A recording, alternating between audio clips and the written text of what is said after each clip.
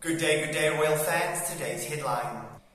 Ever since Meghan moved to California with Prince Harry, there have been rumblings about a possible career in politics for her. After all, she has often used her voice to advocate for causes she is passionate about. According to author Tom Bower, who is publishing a biography about Meghan, the Duchess is still interested in a political career. Recently, Meghan decided to connect with politicians to advocate for paid parental leave. She wrote an open letter to Congress and had phone calls with a few senators. People who run for public office often have many moments of their past exposed to the world, according to royal commentator Richard Fitzwilliams. This is something Meghan should be careful about if a political career is in her future. She has been an activist since childhood and is remarkably articulate, so politics seems a natural progression, Fitzwilliams said.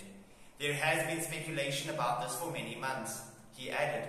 However, she is a would-be philanthropist who has fallen out, however understandably, with all of her family, save for her mother, and there is a deep rift between the Sussexes and the royal family, most notably he believes her infamous interview with Oprah Winfrey in March 2021 could be something her opponents want to take advantage of.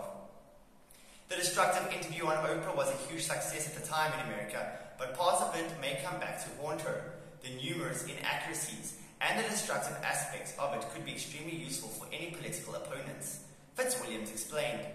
So we wait to see how long it will be before she is on the campaign trail, cold calling voters. After Meghan married into the royal family, she took on the feminine version of Harry's title and became the Duchess of Sussex. Meghan still uses this title in her new career in the US. As reported by Politico, when Meghan called up senators about paid leave, she introduced herself this title as well. However, critics are calling for Meghan to drop the title when engaging in politi politics in the US. She has abused the royal thing of being a British royal, or you know, working as a British royal, because she's actually trying to tell another government what to do, royal author Angela Levin said. According to the Times, palace courtiers are also reportedly calling Meghan out on this behaviour. As members of the royal family, if you use the title, it means you steer clear of those kinds of things, one palace aide allegedly said. Otherwise, you're using the title out of context, and people will question your motive. The royal family has no say in American politics.